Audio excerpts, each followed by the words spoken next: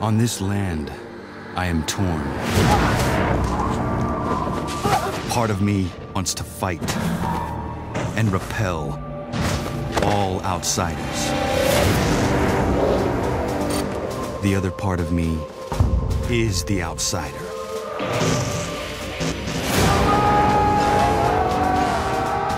Name of liberty, I will fight the enemy.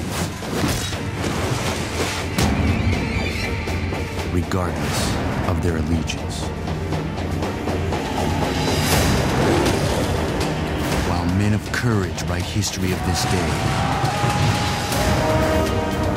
the future of our land depends on those truly free.